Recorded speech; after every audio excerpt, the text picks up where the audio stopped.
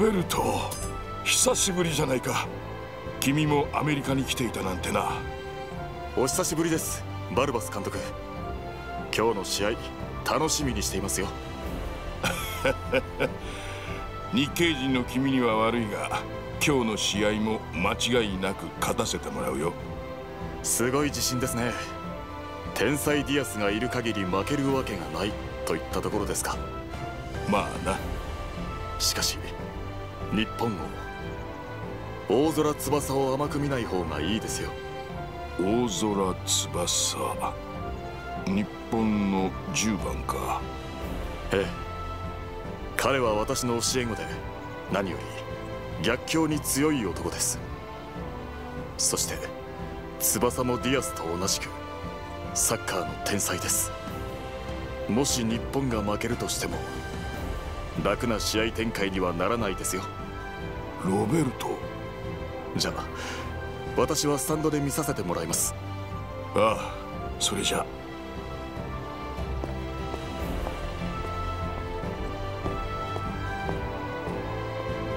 監督今のは誰です？ロベルト本郷。元ブラジル代表の選手で私の友人さ。彼は日系人でね今日の試合彼の教え子である日本の10番に注意するようにと忠告されたよ。日本の10番？あああの南米スタイルはそれでだったのか。おっとそろそろスタジアムに入らないとな。行こ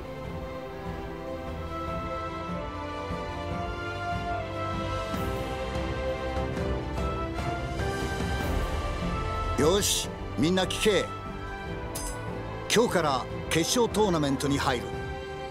相手も予選以上に気合を入れて試合に臨んでくるだろう。だがそれは我々ももちろん同じだ。挑戦者としての気迫を忘れるな。はい！ではミーティングに入る。今日の相手アルゼンチンは一言で言えばファンディアスのチームだ。彼が中盤を支配し味方にパスを配しながら自ら攻め上がり得点を重ねていく。他の選手は皆ディアスのために動いていると言ってもいい。つまりディアスを抑えることがアルゼンチンを抑えることになるんだけどもちろんそれは簡単じゃない。特に彼のドリブルやアクロバティックなプレーは脅威だ。たとえ複数の選手をマークにつけても突破されてしまうかもしれない。それほどのレベルにある。ディアスはチームの絶対エース。だからこちらもエースを持って対抗する。翼。はい。君が中盤を抑えればディアスは動きを封じられアルゼンチンの力も大きく減少する。この試合託したぞ翼。はい。美咲翼のフォローは君だ。頼むぞ。はい。俺はこの3年間ロベルトが残してくれたノートをもとに南米式のサッカーの技術や哲学を身につけてきた。今日の相手ファン・ディアス。南米ナンバーワンとも言われているミッドフィルダー。俺のサッカーは本物の南米のミッドフィルダーに通用するんだろうか。みんな決勝トーナメントが始まる今日からが我々の大会の本番だ。相手の日本は予選でイタリアやオランダといったヨーロッパの強豪を倒してきている。今一番勢いに乗っているチームかもしれん。だが恐れることはない。ディアスが中盤を抑え皆がそれをフォローする。いつも通りの戦いをすれば問題ない。予選リーグ最終戦。我々が宿敵ブラジルと引き分け得失点差でリーグ2位となったのはこちらのトーナメントの山に来てより確実に決勝に進むためだ。だからこそ必ず決勝まで勝ち上がり今度こそブラジルを倒し世界一を勝ち取るぞ。はい！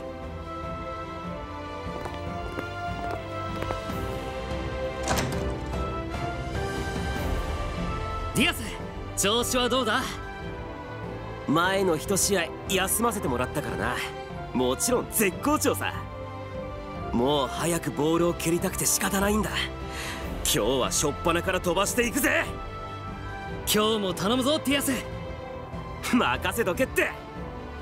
貧しかった俺たちがストリートで鍛えたコンビプレイ。日本の奴らに見せてやろうぜ。あ？俺とパスカルがいればアルゼンチンは無敵さ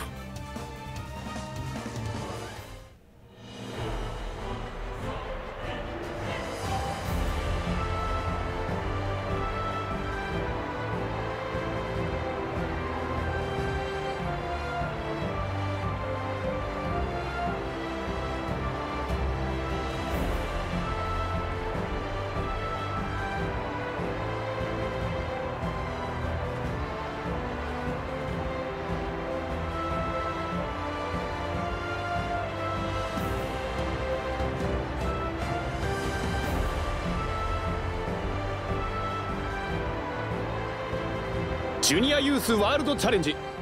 いよいよ決勝トーナメントの戦いが始まります。その初戦は日本対アルゼンチン。アルゼンチンの主役はもちろん予選リーグで大活躍だったアルゼンチンの至宝ファン・ディアス君。技術と速さを兼ね備えたドリブルや体操選手をもしのぐアクロバット能力から繰り出される才能あふれるプレーは他の追随を許しません。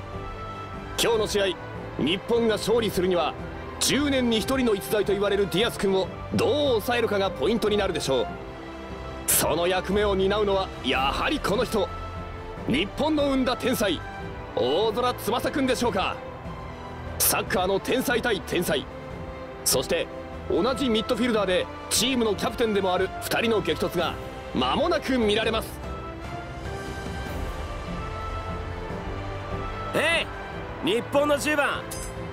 お前のロベルト本郷仕込みの南米スタイルの技との対決楽しみにしてるぜ。ロベルト本郷ロベルトを知っているのか？君はロベルトおおおうちのバルバス監督はロベルト本郷と友人なんだ。今日も試合前2人で話してたぜ。今日も？ああスタンドでこの試合を見てるってよ。この試合を俺もう試合が始まるぜ。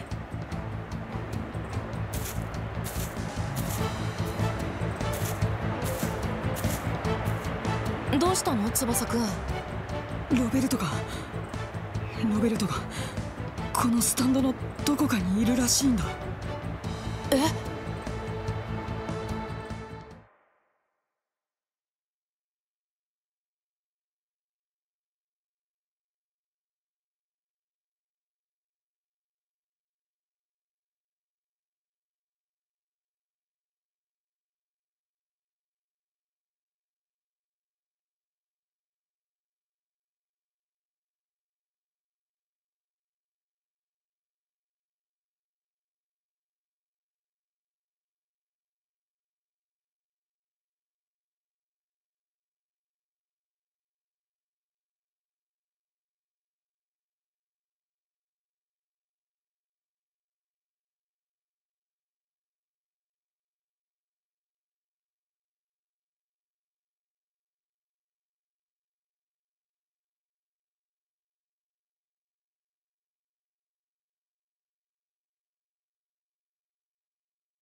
you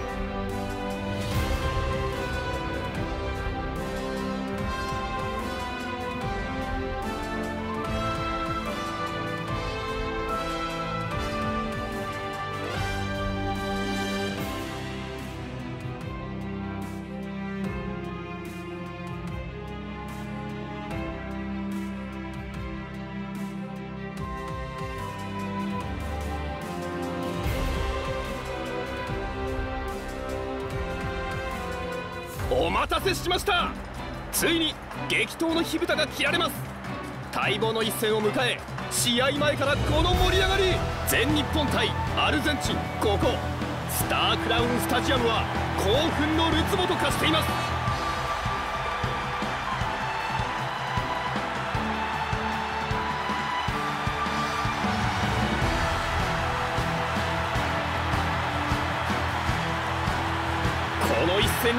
選手たちの意気込みがその表情から伝わってきます。選手たちはいよいよ始まろうとしているこの一戦を待ちきれないといった表情。こ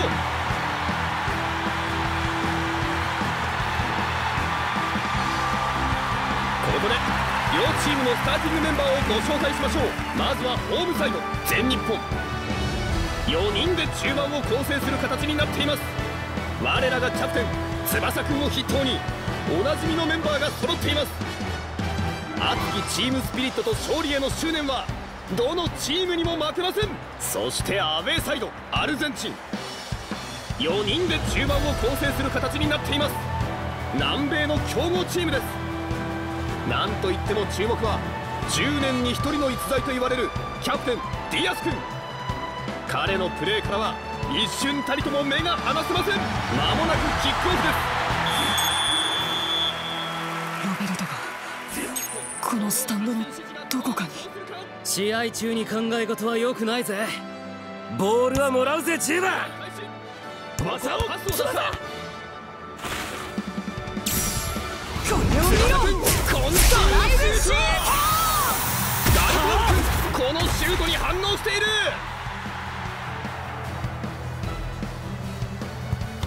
ここはパスを出した。ここは抜かせません。素早く横にかわすシュートを放った。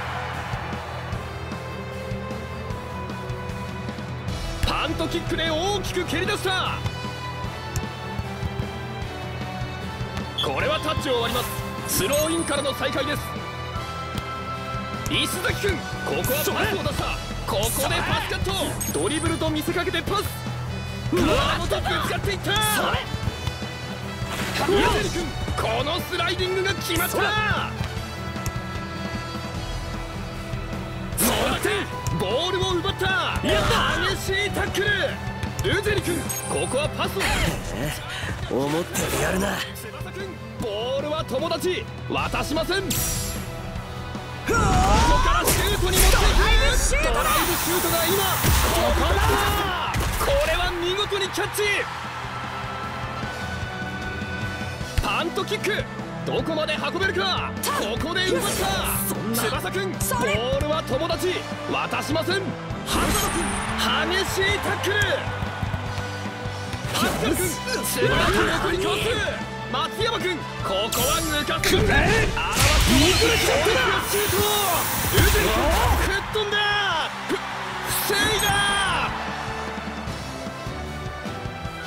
ントキックで大きく蹴り出した。このパスは通らない。ディアス君ボールを狙うも届かない。パスが決まった。パサロ君パスを回す。グレイン君激しいタックル。ハッタ君素早く横にかわす。鋭いスライディング。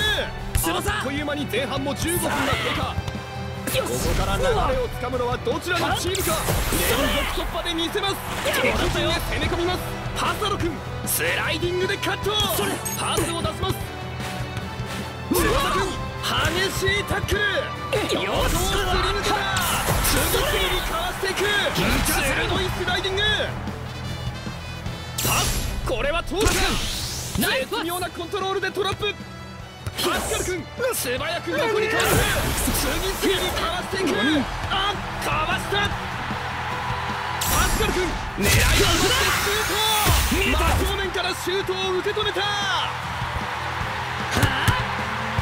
今日ごとぶつかっていった。俺が世界一俺が天才ファンティアスだ大きく蹴り出したルゼリ君このパスをカット負けるわけにはいかない。ボールダッシュ成功。鮮やかな前転で突破ショーの始まりだぜ。アクロバットな動きでシュートに行った。マフラーからシュートを受け止めた。キーパーごと押し込んだ。世界一の称号は俺がもらうぜ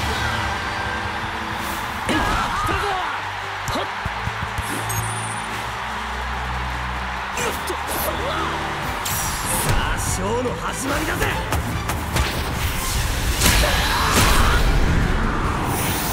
ほら。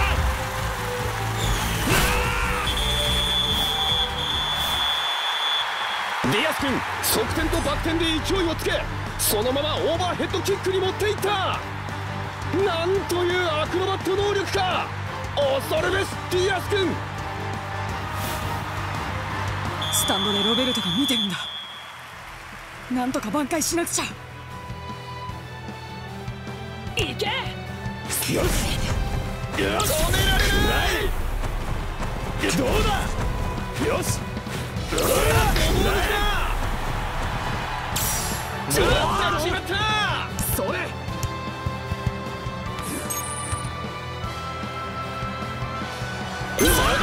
タックルも決めたヒューガ君センターライ攻め込む。よし次々にていく。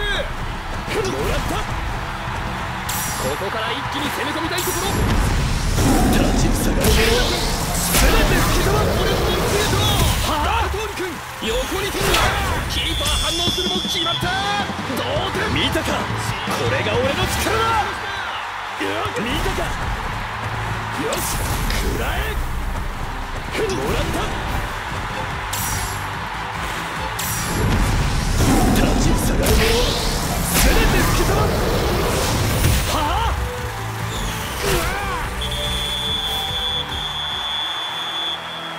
ロングパスだパスを受けた。それ。これで素早く横にかわす。次々にかわしていく。横をすり抜けた。時計は30分を過ぎました前半アディショナルタイム突入です。スライディングで止めた。やった！そんな！ルゼリ君センターラインを越えて攻め込む。止められない。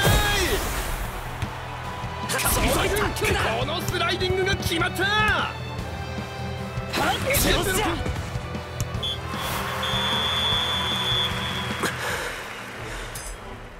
ディアス疲れたか？さ すがにちょっと飛ばしすぎたぜ。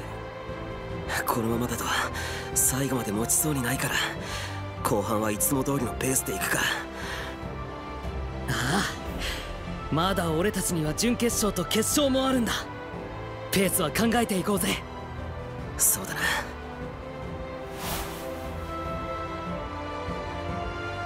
前半はよくやった。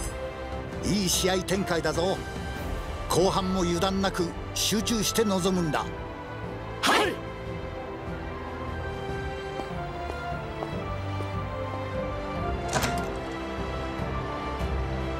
翼くんディアスとすごくいい勝負をしてるじゃない。なんとかね。でも全然油断ならないよ。大丈夫。後ろには僕たちがいる。翼くんは思いっきりプレーしてよ頼んだよ。翼くん後半もディアスを徹底マークしてこのリズムを変えないようにいこう。うん。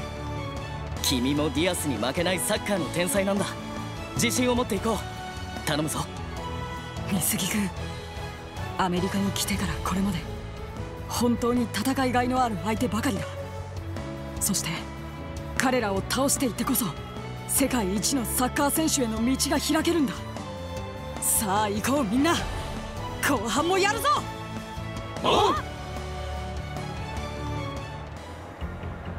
何をやっとる？みんなディアスに頼りすぎだ。お前たちはアルゼンチンの代表選手だぞ。ディアス一人に頼るな。もっと自分のプレーに自信を持て。はい。みんなのせいじゃありませんよディアス。フィールドでの責任は全て俺にある。そのために俺はこのキャプテンマークをつけているんですからね。ディアス。それと試合前のあのロベルト本郷の忠告が当たったってことですね。戦ってみて分かった。あの10番まだまだ底知れない力を持っている気がする。ディアスすまんなアルゼンチンゴールデンコンビなんて言いながら俺はお前のトップスピードのプレーにはついていけないんだ。気にするなパスカル。仕方ないさ。だって俺は10年に1人出るか出ないかのサッカーの天才だからな。俺のスピード技についてくるあの10番の方が不思議なんだ。ディアス？でも大丈夫だよみんな。そんなに真剣な顔するなよ。この天才ファンディアス様がいる限りアルゼンチンは負けないって。もっと楽しく陽気に行こうぜ。ディアス。良くも悪くもこのチームはディアスのワンマンチーム。彼のノリ一つで状況はガラリと変わる。後半も頼むぞディアス。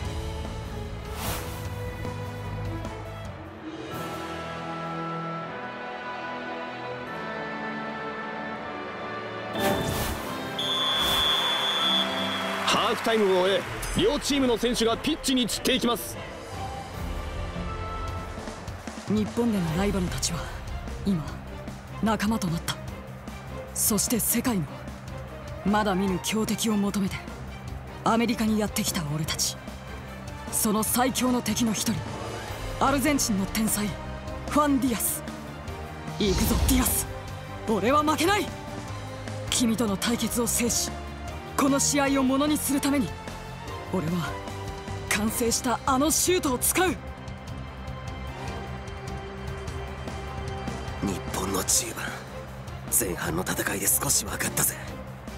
もしかするとお前も10年に1人出るか出ないかのサッカーの天才なのかもしれないってな。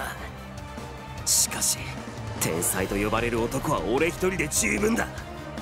世界ナンバーワンプレイヤーの称号はこのファンディアス様がいただくお前との対決を制してこの試合に勝つために見せてやるぜ。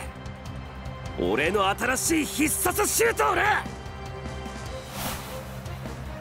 後半も勝負だ。ディアス。久々に楽しくなりそうだぜ。それ。パサロ君ボールを狙うも届かない。いけ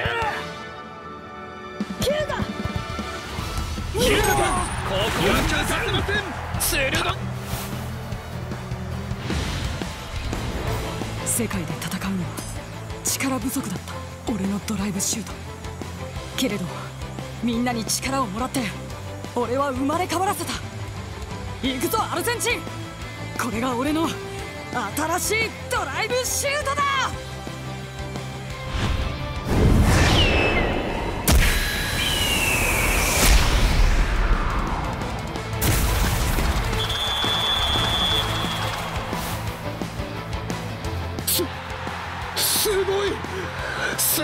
シュートだ翼くん。今までのドライブシュートとは違う。なんという勢い。なんという落差。スタークラウンスタジアムの上空に羽ばたいたフェニックスがアルゼンチンゴールを食い破った。やったね翼くん。やっぱお前はすげえぜこっちくしょありがとうみんな。やったな翼ヒューガ君のおかげだよ。あのブラックボールで俺はこのシュートのヒントをつかめたんだ。俺はドライブシュートを打つ時ドライブ回転をかけやすいフォームで蹴っていた。けれどそのフォームと俺のキック力を100%発揮できるフォームは違っていたんだ。そうか。あの夜気づいたのはそれだったのか。うん。だから100%のキック力のフォームでドライブ回転をかけられるようになれば今まで以上のドライブシュートになる。それが今のシュートさ。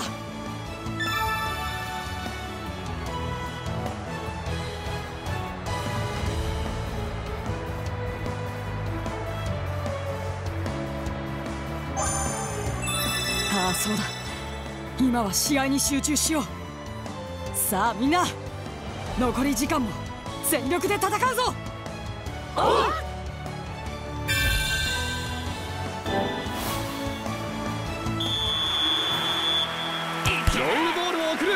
のパスをトラップ。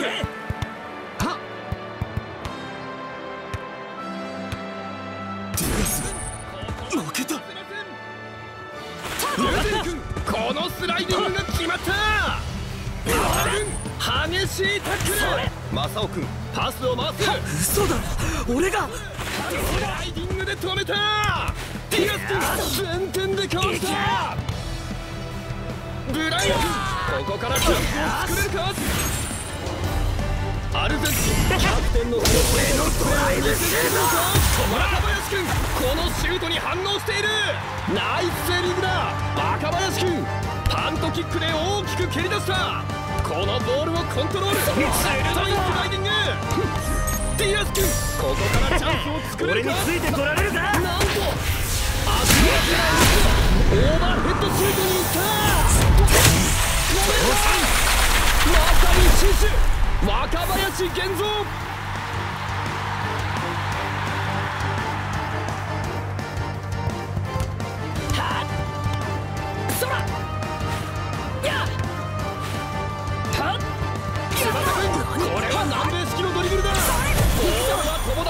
渡しません。ドリブルを運ぶ翼君必殺のシュートを放ったゴールを割らせません。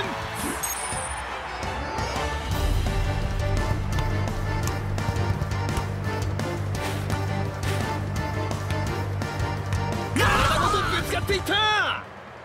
翼くんこれは南米式のドリブルだ。ボールは友達渡しません。翼くんこれは南米式のドリブルだ鋭いスライディング。時計はすでに後半の15分を過ぎています。激闘の決着まで残すところわずか。横をすり抜けた止められない。素早く横にかわす連続突破で見せます。ゴール前に持ち込んだ渾身のシュート。このシュートを正面から受け止めるパントキック。どこまで運べるか。ディアス君。天才的なドリブルだ。鮮やかな前転で突破。ディアス君天才的なドリブルだ。かわして振り切った。連続突破で見せます。敵陣へ攻め込みます。松山君このスライディングが決まった。このパスは通らない。センターラインを越えて攻め込む。あっと奪い返した。ここはパスを出した。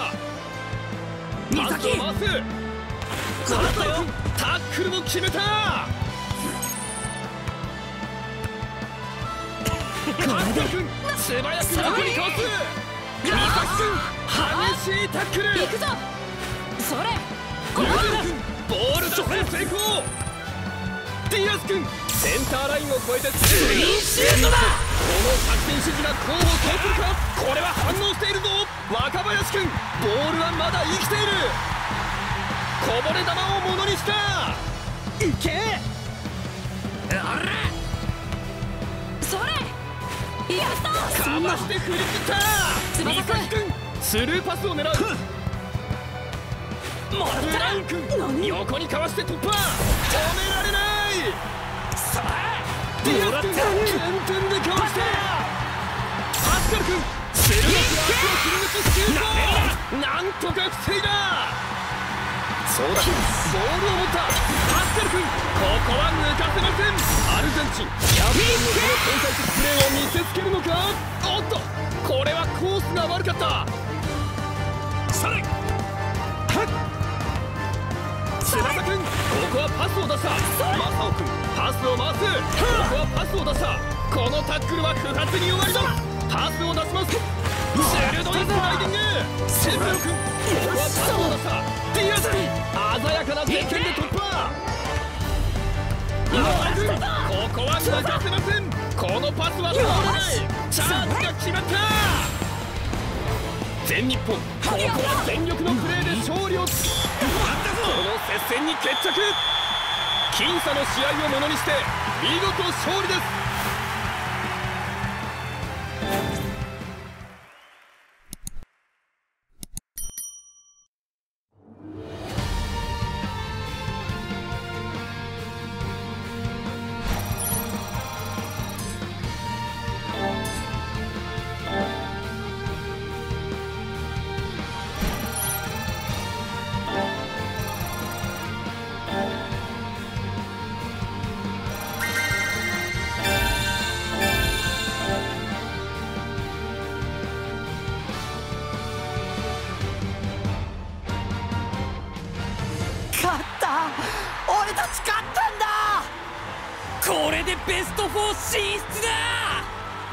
この勢いで優勝まで突っ走るぜ！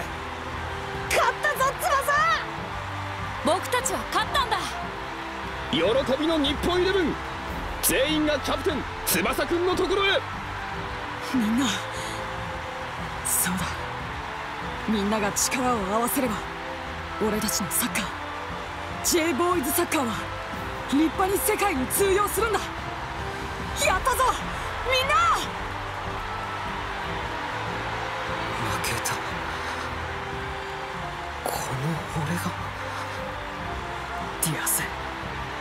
負けちまったな。みんな。世界ナンバーワンになる男。ファンディアス。その伝説の始まり。第一章から。早くも傷をつけられちまったぜ。その傷をつけた男。全日本の10番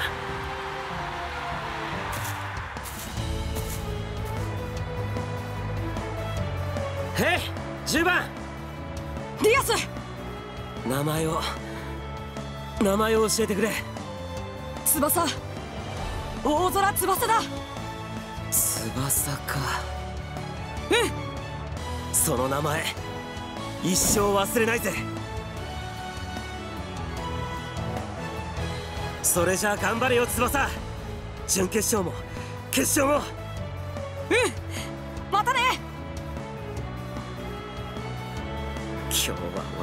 けだ。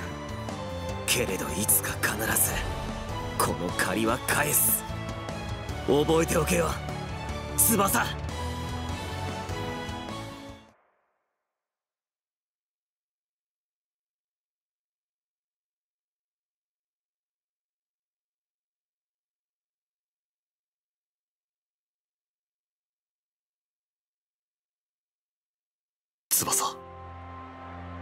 お前は本当に成長したんだな。キャプテンとしてゲームメーカーとしてチームを引っ張り個性の強い味方を率いながらみんなのいいところをうまく引き出している。俺はお前とのあの別れのノートにミッドフィルダーになれと書いた。そしてお前はそれを忠実に実行し俺の予想をはるかに上回る素晴らしいミッドフィルダーに成長したんだ。それに今日見せたあのドライブシュートあれは俺が教えようとしたシュートを超えている。翼の想像力が生んだ翼のドライブシュートだ。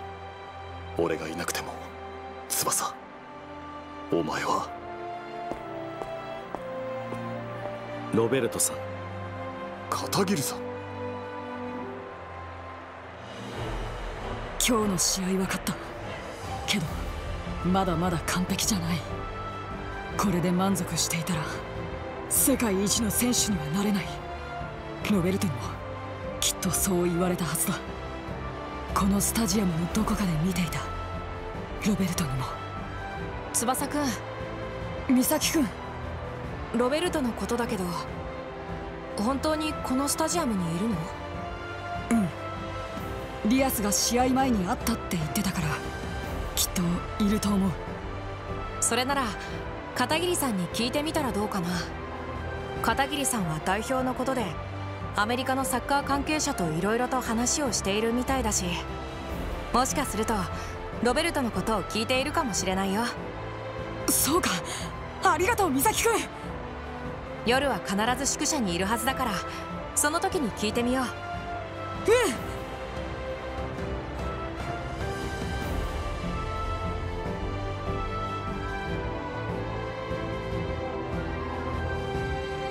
なあなあこの試合どっちが勝つと思う？な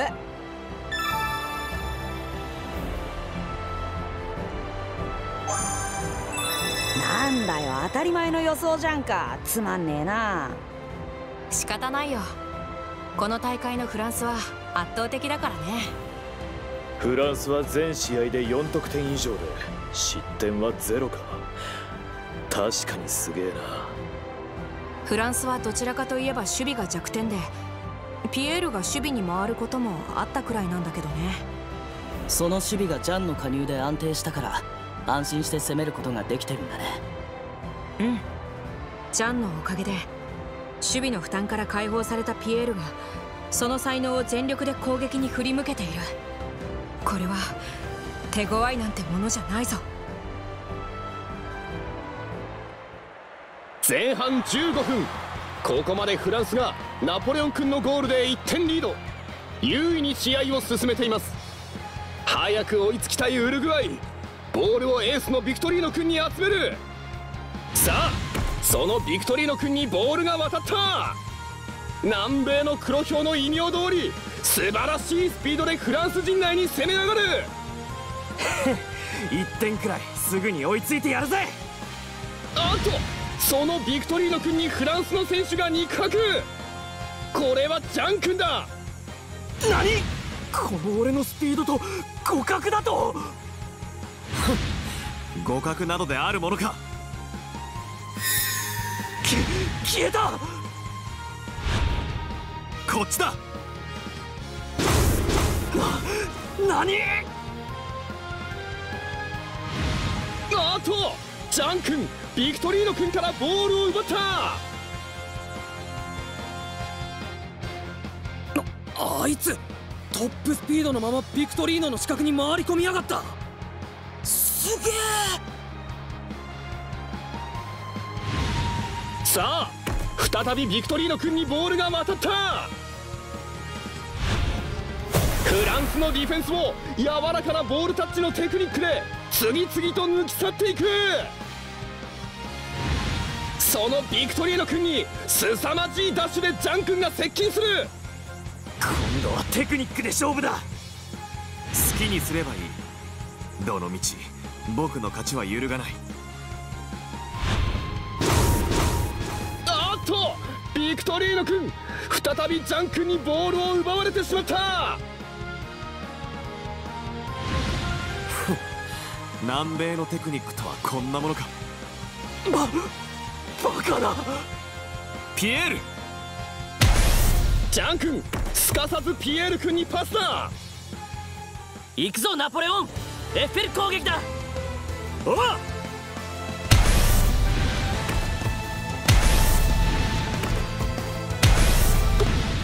これはピエール君とナポレオン君の素早いパス交換ウルグアイ守備陣をあっという間に抜き去っていく。ピエールここは譲ってやる。決めてやれ。行くぞ。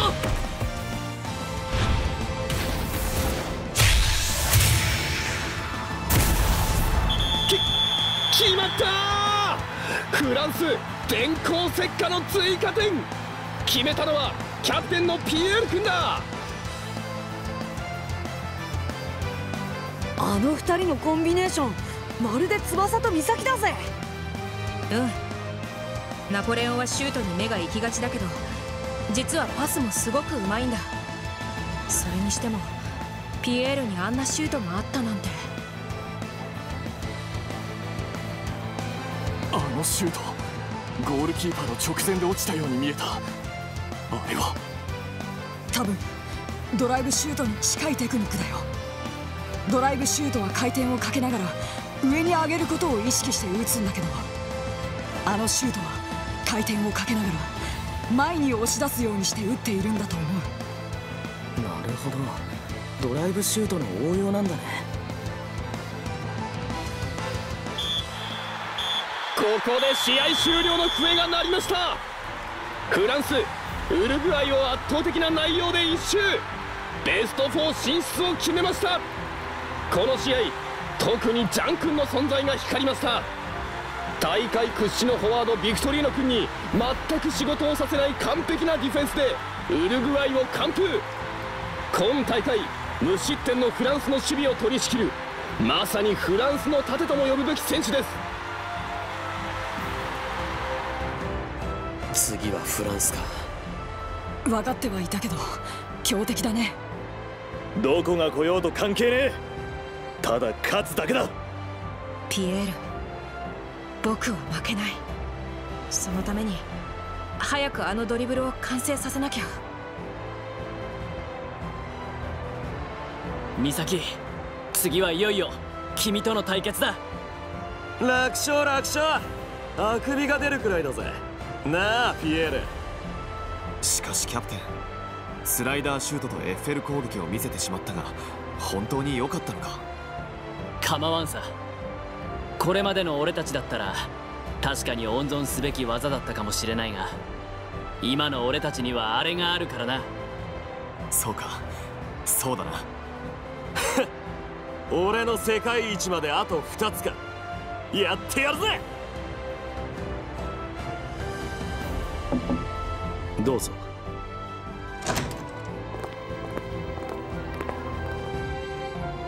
翼に岬じゃないか。こんな時間に一体どうした？ロベルトがこのスタジアムに来てるんです。片桐さんはこちらでもいろんな人と会っているしそれで何か知っているんじゃないかと思って。翼どこでそれを知ったんだ？実は。なるほどそういうことか。ロベルトさんがアルゼンチンのバルバス監督と知り合いだったとはな。そんなところから漏れるとは思わなかったよ。じゃじゃあディアスが言っていたことは本当なんですね？ああ本当だ。ならならばどうして俺に教えてくれなかったんですか？つ翼くん落ち着いてそれについては私も悩んだ。だがロベルトさんから頼まれたんだ。自分のことは翼に言わないでほしいと。そんなどうして？それは。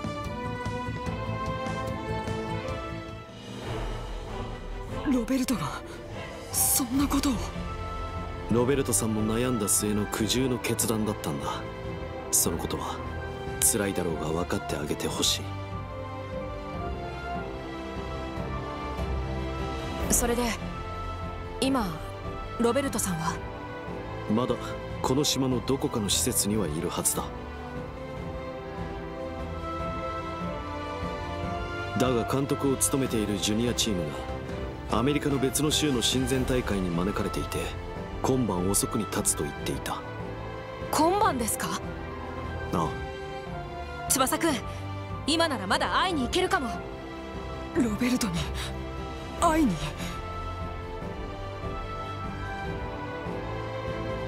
翼くん？俺今は会いに行けないよ。どうして？あんなに会いたがっていたのに。そりゃ本当は会いたいよ。でもでも今俺はこの代表のキャプテンだ。一人勝手な行動は取れないよ。翼。それに何よりもロベルトはサッカーをやめたわけじゃないって分かったから。だから俺もずっとサッカーを続けていけばきっとまたどこかで会える。そんな気がするんだ。翼くん。うん。そうだね。翼お前は心の底からキャプテンなんだな。待っていてくれ。私が必ず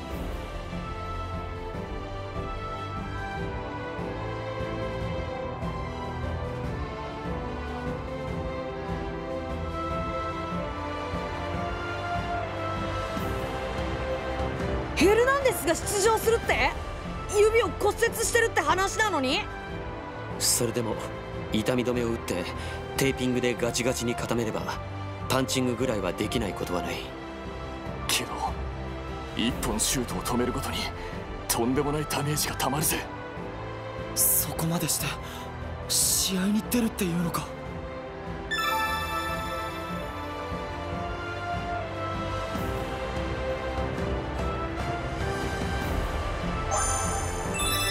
それだけチームに欠かせないキャプテンってことなんだろう。特にあのルチアーノがヘルナンデス以外の選手の言うことを聞くとは思えないからな。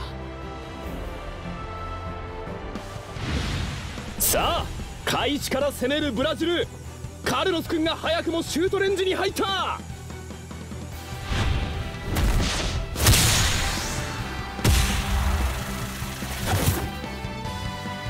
ヘ ルナンデス君ナイスセーブ。骨折した右腕でカルロス君の強烈なシュートを防ぎました。カルロス惜しかったな。あれでいいんだ。え？奴の右腕を砕いて交代させる。それがこの試合に勝つ一番確実な方法だ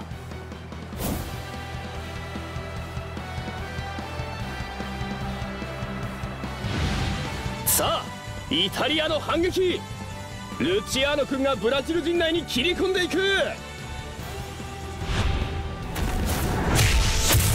た！ここでルチアーノ君の必殺シュート。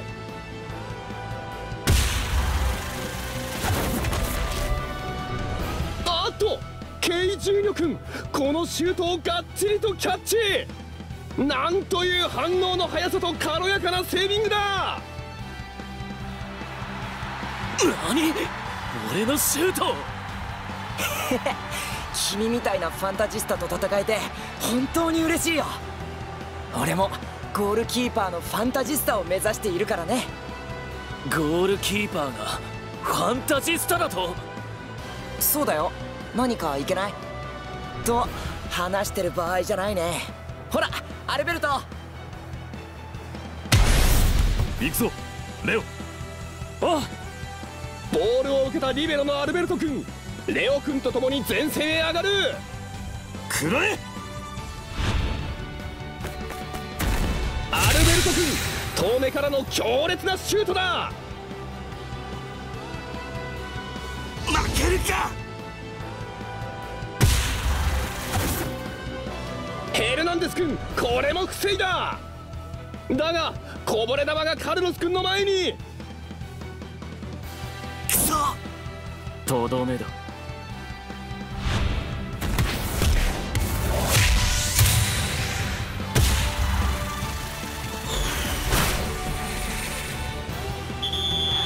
ついに決まった。カルロス君のシュートがヘルナンデス君の黄金の右腕を攻略した。あーっとヘルナンデス君。その右拳を押さえ込んだまま動けない。今のシュートで大きなダメージを負ったのか？くそ。この右腕が万全ならば。どうやらヘルナンデス君ここで交代のようです。いかに実力者とはいえやはり怪我を負っていてはさすがに限界でしょう。みんなこれでイタリアの戦力は大きくダウンした。だからといって気を抜かず持てる力を目いっぱい発揮しろ。いいな。あ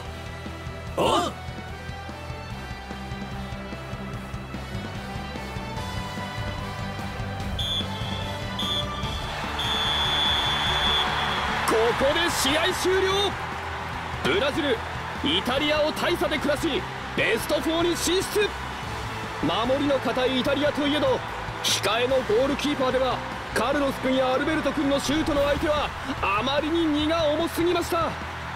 そして1人攻撃を任されたルチアーノ君もヘルナンデス君が去った後は動きに制裁をかき後半に途中交代。一方ブラジルは要所でキャプテンのアルベルト君が劇を飛ばしようやくチームがまとまってきた様子。これで準決勝のブラジルが楽しみになってきました。ブラジルが勝ったか。まあヘルナンデスが途中交代しちゃうな。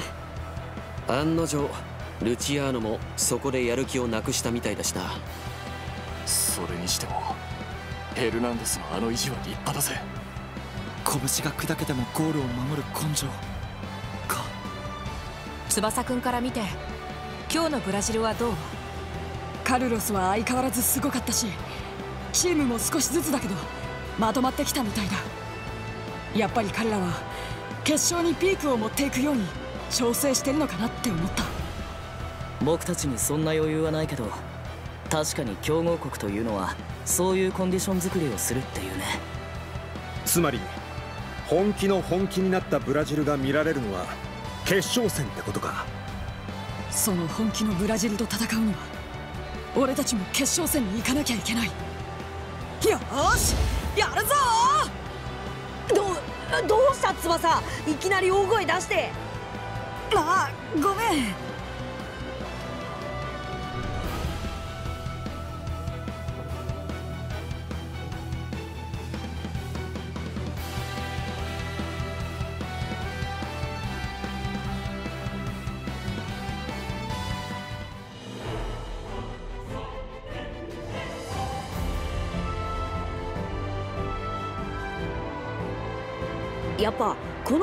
ドイツの方が有利なのかな？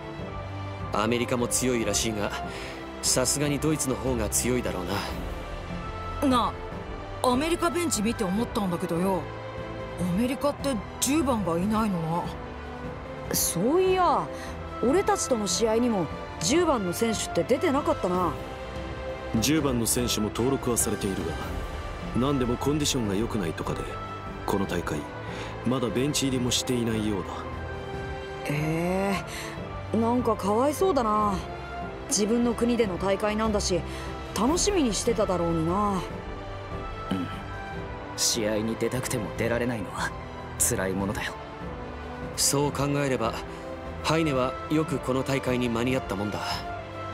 俺たちハンブルクとの試合で怪我をした時の様子だととても間に合いそうになかったけどな。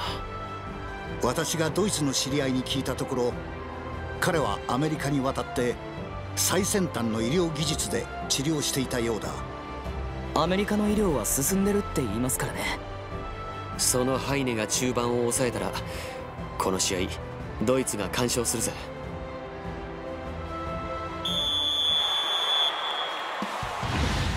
さあこの試合もドイツの中盤を仕切るハイネ君。得意のドリブルで切れ込んでいくさあさあ観客のみんな俺のワンマンショーの始まりだよ。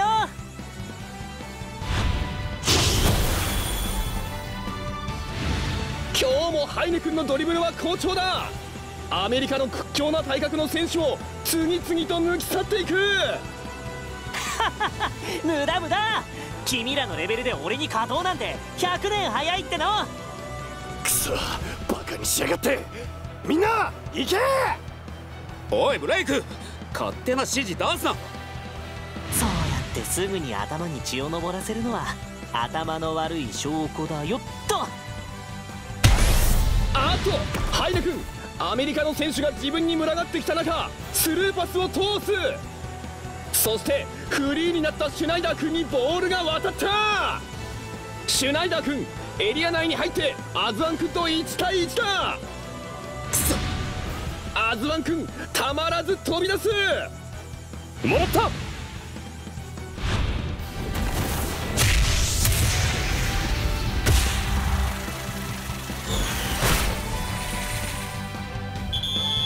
ドイツ先制点。やはり決めたのはエースシュナイダー君ゲームメーカーハイネ君とのホットラインは今大会ドイツの大きな武器になっています。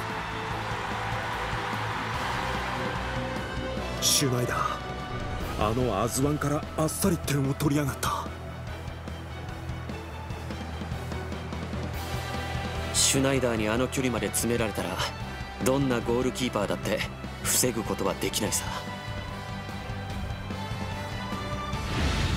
さあ先制点を奪われたアメリカ反撃に移る。お前ら俺にパスを持ってこい。すぐにブレイクシュートで決めてやるぜドイツゴール前に走るブレイク君。そこに向けてパスが出る。何？しかしこのパスは通らない。ボランチのシェスター君がしっかりとカットした。そんな単純な手が俺に通じるものか。カルツ！シェスター君間髪を入れずカルツ君にパス。おいよここは行かせてもらうぜ。そいつを止め。いやハイデのマークにつけ。ドイツの中心はそいつだ。アメリカブレイク君の指示でハイデ君にマークがつく。行くぜハイネ。あっとカルツ君。これはパスミスか？ボールはハイネ君にではなくあらぬ方に飛んでいく。飛んだ下手じゃ嘘だいやこれはパスミスではない。ボールの落下点にマーガス君が走り込む。へへ俺を忘れちゃ困るぜ。てめえのヘディングごとき俺が止めてやるぜ。行くぜ。シュナイダー。何？マーガス君シュートには行かない。ヘディングで横に振るそしてそこにマークを外したシュナイダー君が走り込む。ナイスマーガス。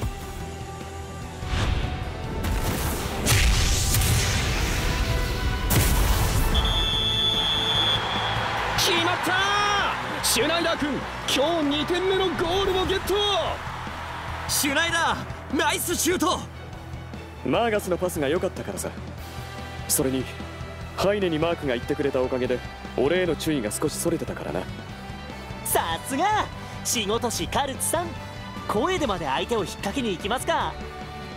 まあな使えるものは使わねえとな。ほんとそういうこすいことさせたら間違いなく世界一ですよね。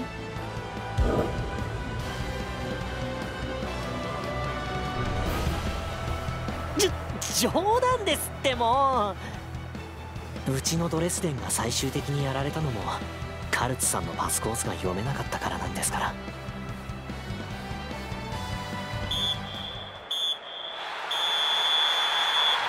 試合終了ドイツ全く危なげなくアメリカを破りベスト4進出。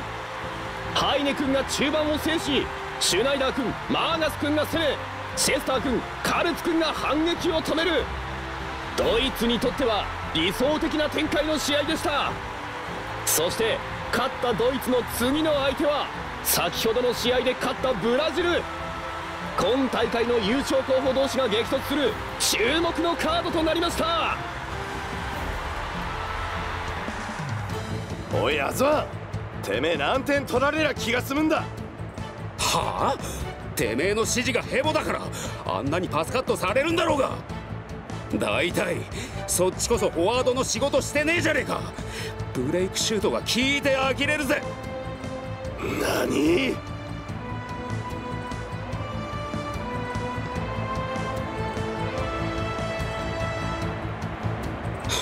やめだ。ああこんな試合怒る価値もない。アメリカの選手たちなんかふてくされてるぜ。あれだけボロボロにされるとな。やる気もなくすってもんだろ。自力の差もあるんだろうけどアメリカはあれだけ指示が混乱するとね。どうしようもないよ。司令塔ってやっぱり大事ですね。それもあるだろうけどよ。そもそものテクニックのレベルが違ったんじゃねえか。体の大きさはアメリカの方が上回ってたけどそれを生かす技がなければ何にもなりませんよね。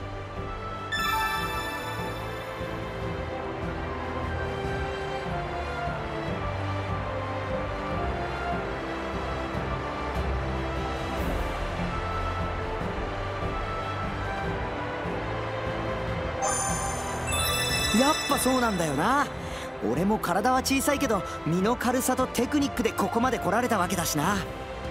僕はヒューガさんみたいな強い体やパワーにも憧れますけどね。ヒューガさんは体格のバランスが取れてるからな。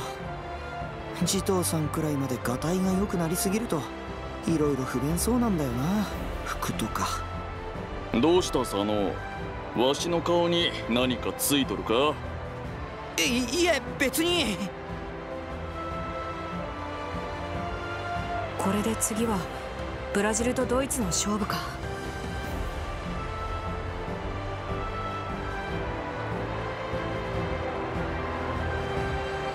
複雑だね。二人とも。いや。別に。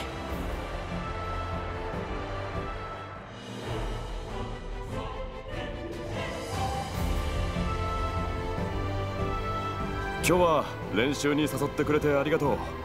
とても楽しかった。いやこっちの方こそありがとうだぜ。普段は真剣勝負でしか関われないけど今日みたいに一緒に練習したりミニゲームしたりも面白いよな。それに練習方法とか技術とかいろいろ意見交換もできたし。やはりサッカーはいいな。こうして世界中の誰とでも楽しめる。それでは今度は代表の試合で会おう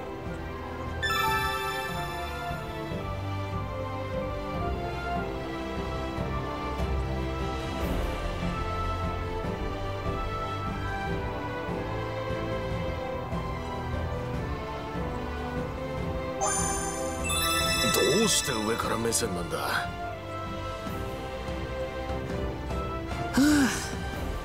あ朝一からずいぶん熱くなっちまったぜおいあっちのグラウンド見てみろよへえよそでも他の国と練習してるんだなあれあそこで練習してるの石崎さんと浦部さんじゃないですか?あ本当だ。あいつらいつの間にみんな!つ翼!おはよう!みんなも朝練してたのかい?みんなもって翼もか?うん。他の国の選手から誘われてさ監督が OK してくれたから行ってきたんだ。俺以外に森崎と相田もどこかに誘われてたみたいだよ。森崎はともかくソーダは大丈夫なのか?ああトラブルを起こさなきゃいいけど。最初はただの自主朝練だったのにすっかり国際交流の朝練になったね。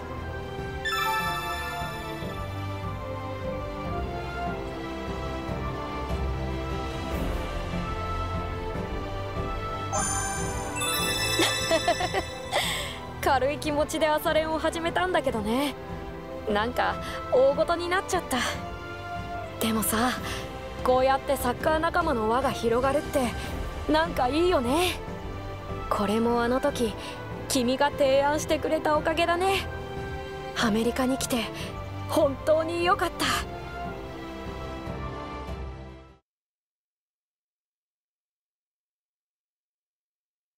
よし。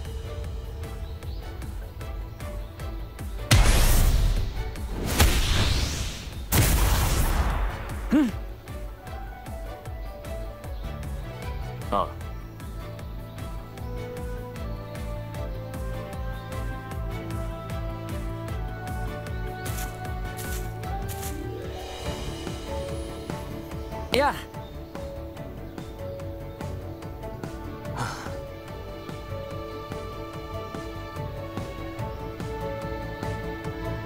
なぜ付きまとう？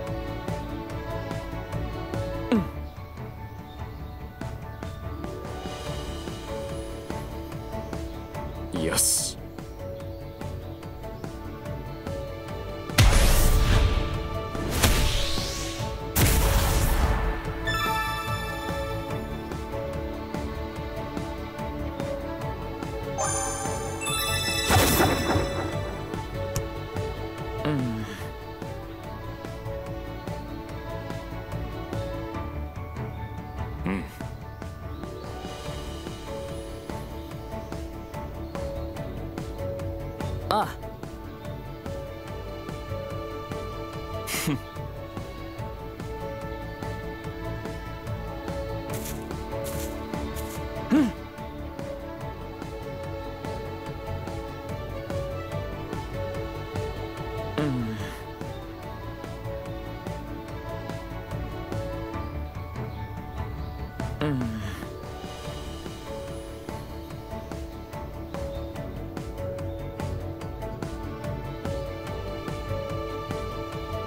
よろしく。